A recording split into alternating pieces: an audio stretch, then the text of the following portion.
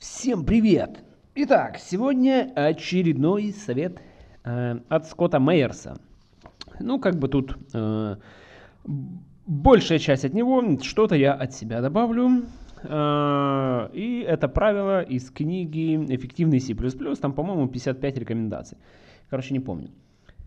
Э, точно. Так вот, э, правило это в этой книге номер 16. То есть тут такой подраздел, э, который называется «Эффективность», и здесь, по-моему, 4 правила. Так вот, э, два, я думаю, два правила будут на этом канале, а другие два правила будут э, доступны по платной подписке. А ссылка на платную подписку в описании к этому ролику. Так вот, правило 16. Не забывайте о правиле 80-20. Э, правило 80-20 гласит, что 80% программных, процентов программных ресурсов и памяти используются примерно 20% кода программы. 80% времени уходит на выполнение примерно 20% кода. 80% обращений к диску осуществляется примерно из 20% кода. 80% усилий на поддержке тратится примерно на 20% кода. Правило 80-20 неоднократно проверялось на различных компьютерах, операционных системах и приложениях. И это не просто запоминающаяся формула, а оценка производительности системы. Ну, на самом деле, это, ну, действительно, это правило есть, э, но там есть плюс-минус, так сказать. То есть, не, ну, ну, ну, куча программных продуктов, и не может в каждом программном продукте быть такое право 80 на 20. Где-то 90% на 10, где-то там 75 на 25, где-то 85 на 15. Но в целом так оно и есть. То есть а, есть не такой уж большой кусок кода, который действительно делает больше всего. И, соответственно, его-то и нужно оптимизировать. Ну, если это, конечно, нужно. А, так что, независимо от точности цифр, суть, короче, остается неизменной. То есть суммарная производительность программы почти всегда определяется небольшой частью кода, лежащей в ее основе. Э, ну и это правило, э, оно и может упростить, и может усложнить жизнь программиста, который стремится увеличить производительность своей программы. Но мы знаем, что э, первое правило оптимизации не оптимизируй, а второе правило оптимизации смотри первое правило оптимизации. Самое главное, чтобы код был понятен и вам, Э, и тем более тем, кто сидит рядом с вами, вашим коллегам. А вот, только потом, когда уже все написано и все работает, только потом, если нужно, если действительно нужно, нужно приступать к оптимизации. Так вот, как я уже сказал, да, э, это правило может или упростить, или усложнить жизнь. То есть, с одной стороны, правило 80 на 20, ну, то есть это усредним, да, будем называть 80 на 20 подразумевает, что большая часть создаваемого вами кода может, честно говоря, иметь ну, такую посредственную производительность. А потому что в течение большей части времени, а в этом случае, ну пусть это 8, 80% времени, а, эффективность этого кода не влияет на суммарную производительность системы, над которой вы работаете.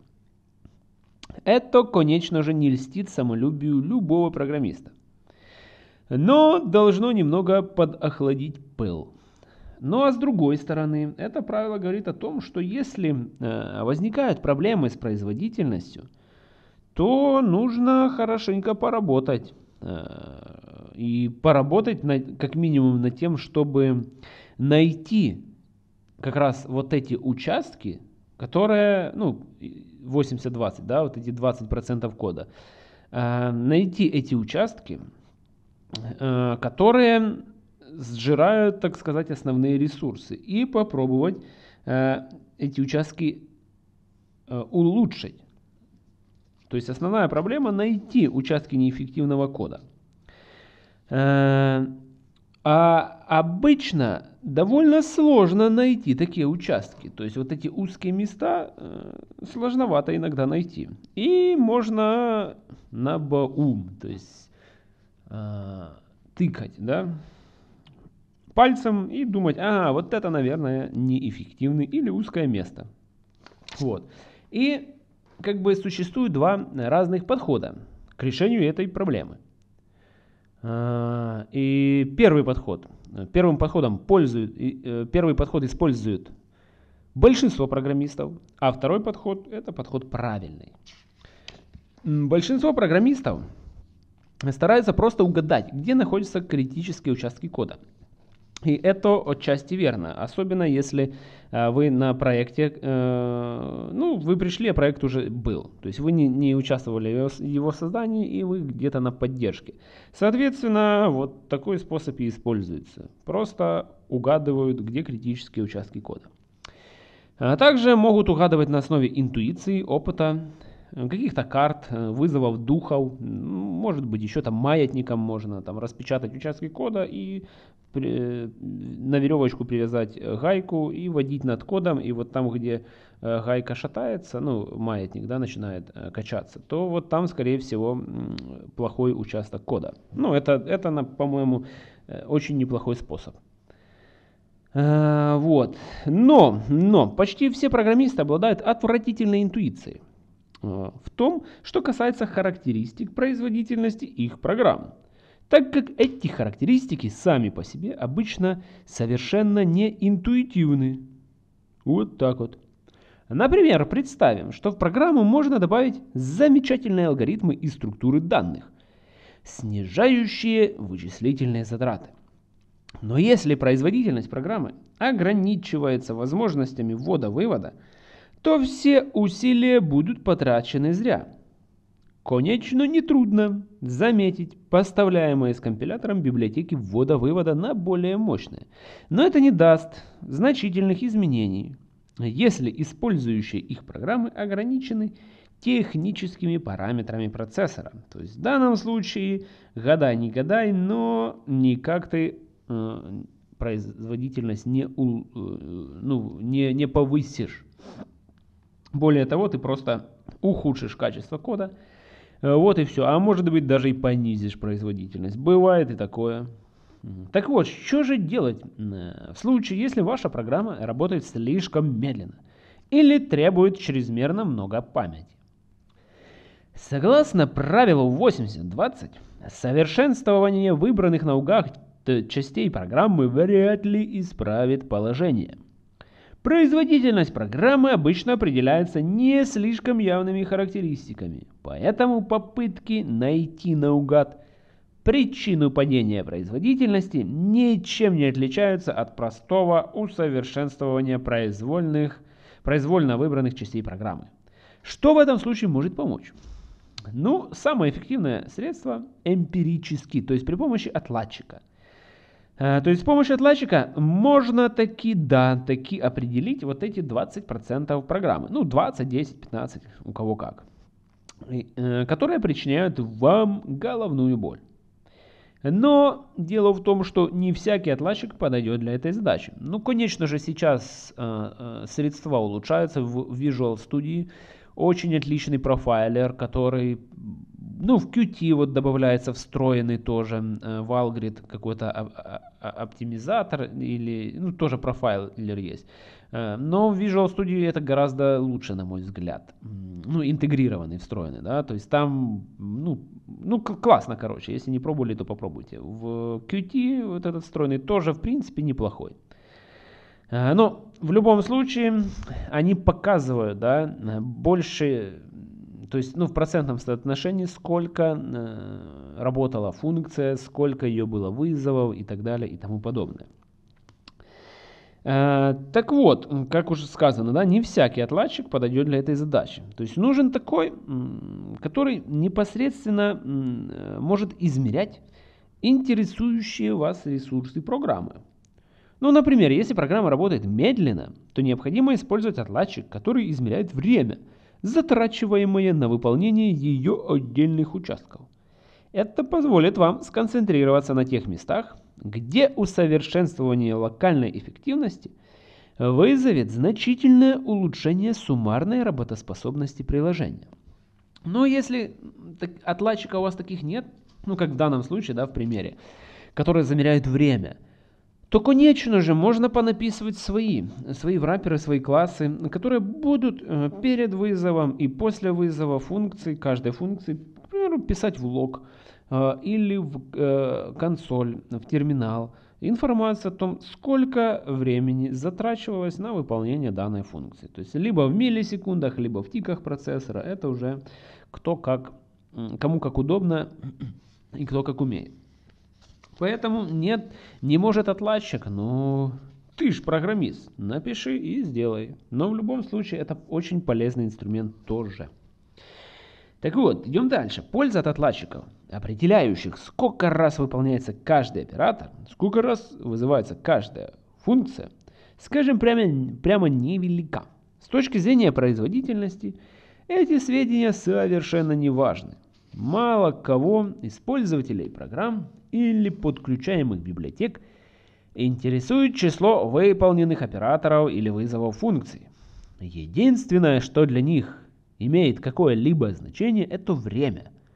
Пользователи ненавидят ждать, а если ваша программа заставляет их это делать, то они, в принципе, начинают ненавидеть и вас.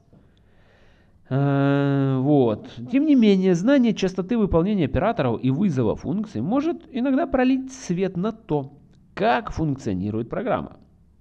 Если, например, вы создаете около сотни объектов определенного типа, то вам будет не безинтересно узнать, что при этом конструкторы в данном классе вызываются уже не сотни, а тысячи раз. Более того, подсчет числа вызовов операторов и функций – иногда помогает понять скрытые аспекты поведения программы. Если вы, например, не имеете прямой возможности оценить использование динамической памяти, то вам пригодится информация о том, как часто вызываются функции выделения и освобождения памяти. Ну, это, как правило, если это у нас язык C++, то это операторы new и delete. Вот. Ну, даже, что еще можно сказать? Можно еще сказать, что даже лучшие из отладчиков также являются заложниками обрабатываемых данных. Не удивляйтесь, когда при обработке нетипичных входных данных отладчик укажет, что требуется доводка части программы, попадающей 80%. Хотя, как вы знаете, это никак не отражается на общей работе программы.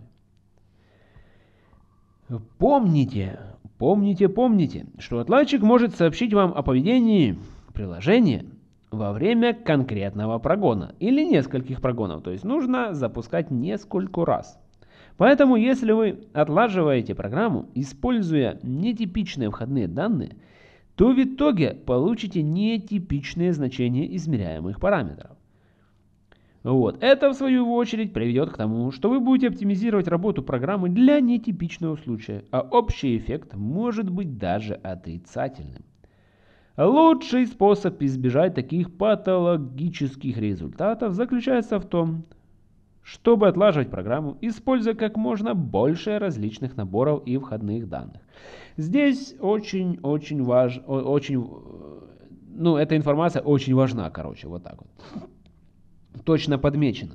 Потому что я э, сталкивался уже неоднократно ну, это меня, конечно, уже научило, как подходить к подбору входных данных, но сталкивался с чем? С тем, что есть какой-то набор данных. Ну, давайте, это просто вектор каких-то данных, там, числа какие-то, не знаю.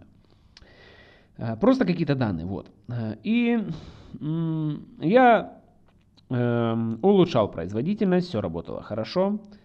И просто э, изменить значение вот этих данных, это, этим я не добьюсь э, ну, как бы других результатов при измерении эффективности.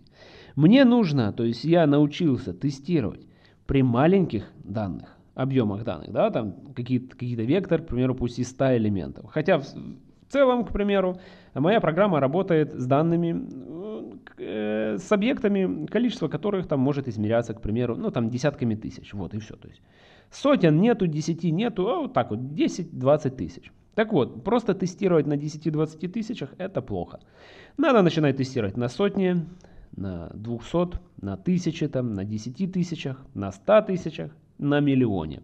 И для этого создавать соответствующие тесты, то есть тестовые функции, тестовый проект, который, которые будут загонять вам эти данные. Дальше нужно загонять неправильные данные. И то есть, когда у вас программа в процентном соотношении работает ну, примерно одинаково, примерно одинаково, да, что для маленьких, ну или пропорционально одинаково, да, там для сотни элементов такие-то цифры, для, 10, для тысяч элементов чуть другие, для 100 тысяч еще другие. Но когда прослеживается какая-то взаимосвязь, то вы понимаете, что у вас в целом все модули более-менее отлажены и э, как-то работают эффективно. Вот.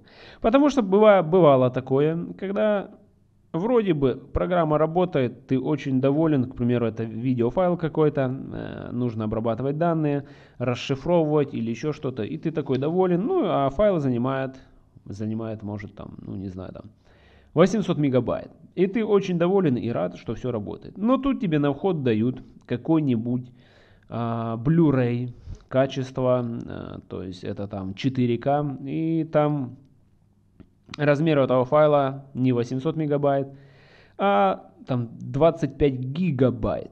И вот тут-то ты видишь, что что-то как-то не все очень не все очень так хорошо, как хотелось бы, что все начинает плохо работать. Более того, иногда даже программа падает.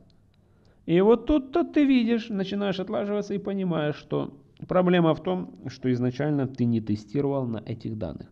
И вот после таких вот проблем, когда ты начинаешь влазить в отладку, пытаться это исправить, чтобы не поломать всю архитектуру, а иногда даже что-то переписывать надо, то тогда ты понимаешь, что нужно тестировать на разных абсолютно данных, на абсолютно разных данных, в разном диапазоне, с разными значениями и более того, с правильными данными и с неправильными, то есть абсолютно какой-то чушью. Ну, короче, вот так вот. Я смотрю, уже 17 минут наговорили. Поэтому это такая вводная, да, это правило было вот такое, правило 16 из той книги. А, вот, следующее правило будет по платной подписке, а через это правило, которое по платной, будет опять здесь на этом канале. Поэтому что-то будет там, что-то будет тут. Но в любом случае и там, и тут будут какие-то ролики. Ну, спасибо за внимание. Подписываемся, делимся, ставим лайки, комментируем. Всем пока.